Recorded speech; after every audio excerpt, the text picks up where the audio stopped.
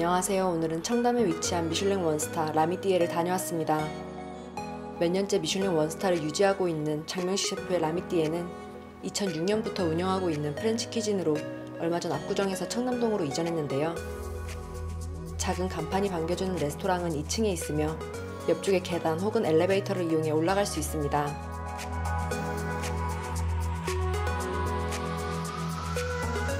홀은 아담하면서 조용했고 안쪽으로 룸이 있는 구조였습니다. 자리로 안내받으니 cutlery와 냅킨으로 정갈한 테이블 세팅과 함께 라미띠의 알파벳 L이 찍혀있는 sealing stamp를 포인트로 한 메뉴판이 눈에 들어옵니다. 평일 런치는 단일 코스이며 추가로 푸아그라를 주문하였습니다. 식전빵은 바삭한 바게트와 부드러운 곡물빵 두 가지가 제공됩니다.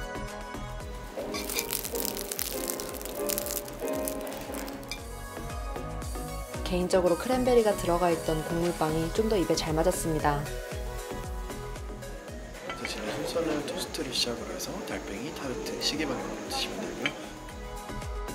세팅되어 있던 접시 위로 세 가지의 amuse를 놓아주십니다. 아주 작은 크기의 토스트는 얼린 푸아그라 torchon으로부터 나오는 시원함과 고소함이 공존하면서 얹어져 있던 밤 퓌레가 풍미를 한층 더 올려주는데 바삭함을 느낄 찰나에 입안에서 사라집니다. 귀엽게 담겨 나왔던 달팽이 위로 적양파로 만든 피클과 생크림 그리고 그레이비 소스를 섞은 foam이 올라가 나옵니다. 함께 나온 핀으로 집어 먹어보니 은은하게 양파 향이 나면서 입안을 따뜻하게 해주는데 연한 식감으로 부드럽게 먹기 좋았습니다. 앞쪽의 자몽 타르트는 호주산 생 트러플이 슬라이스되어 올라가 있습니다. 상큼한 자몽과 트러플의 조합이 낯설기도 했지만 은근히 잘 어울려 맛있게 먹었습니다. 뭐 위쪽으로는 딸기랑 사과 그리고 새콤하게 버무린 화이트 아스파라거스까지 준비해드렸고요. 안쪽으로는 라즈베리 소스와 허브드, 허브 오일 그리고 레몬 바질까지 같이 올려드렸습니다. 아래쪽의 진득한 크림은 부라타 치즈와 마스카포네 치즈를 8대2 비율로 믹스했다고 합니다.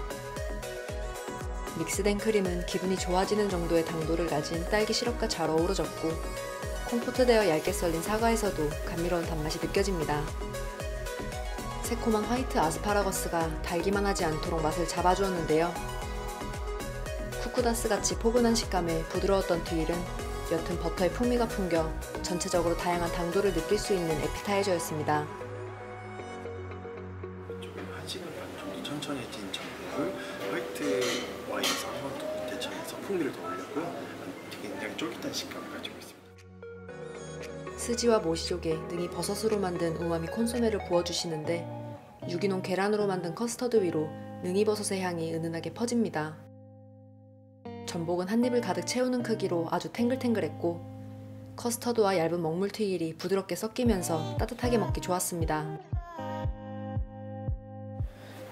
생선 요리 준비했습니 다. 생선은 성대라는 생선이고요.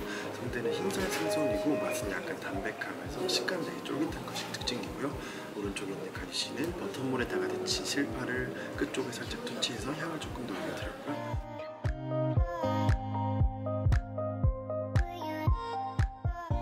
먼저 생선살만 먹어보았을 땐 비린내가 아닌 독특한 생선 향이 느껴졌습니다. 파프리카 파우더가 뿌려진 껍질과 함께 먹으니 간이 좀 강하다는 생각이 들었는데요. 함께 나온 파프리카 소스가 불맛과 함께 은근 달큼했는데도 전체적으로 맛이 짜고 강해 호불호가 나뉠 것 같은 메뉴였습니다.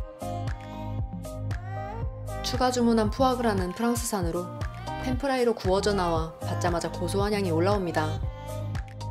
여러 곳에서 푸아그라를 먹어보았지만 통째로 pan fry 된 경우는 처음이었는데요. 시즈닝이 되어 있던 푸아그라의 표면 위로 브리오시 토스트와 찐mam이 갈려 올라가 있습니다.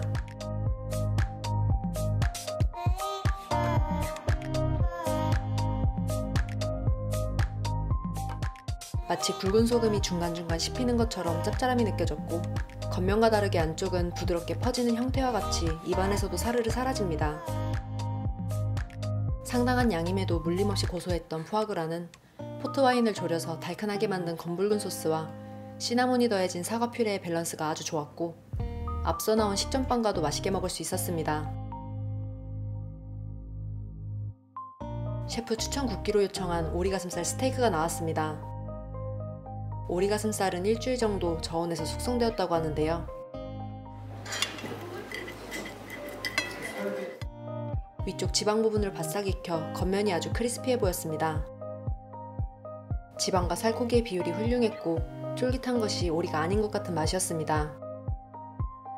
오렌지 주스에 절인 미니 당근으로 만든 소스가 향긋함을 더해줬습니다.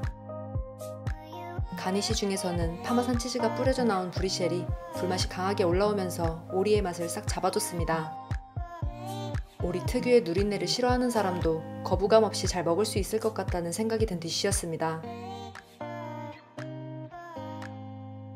화이트 초콜릿이 박혀 나오는 디저트는 부드러운 아몬드 크림과 함께 중앙의 달콤한 배가 식감을 살려줍니다.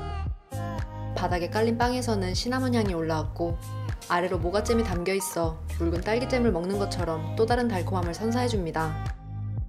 전체적으로 잘 어우러지는 복합적인 단맛으로 맛있게 먹었습니다.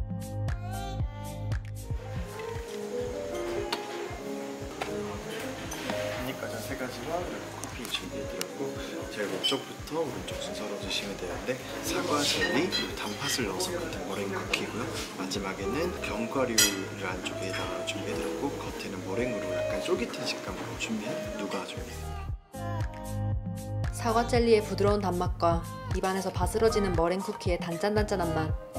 마지막으로 견과류와 함께 고소한 단맛으로 커피와 식사를 마무리했습니다. 아담한 내부임에도 불구하고 친절한 직원들의 서비스로 편안하게 식사할 수 있었는데요. 개인적으로 이곳은 겹겹이 쌓인 layered처럼 맛이 섬세하고 다채롭게 느껴졌고 덕분에 식사를 loose하지 않게 할 수 있었습니다. 다음 영상에도 다양한 리뷰가 계속 될 테니 구독과 좋아요 부탁드립니다.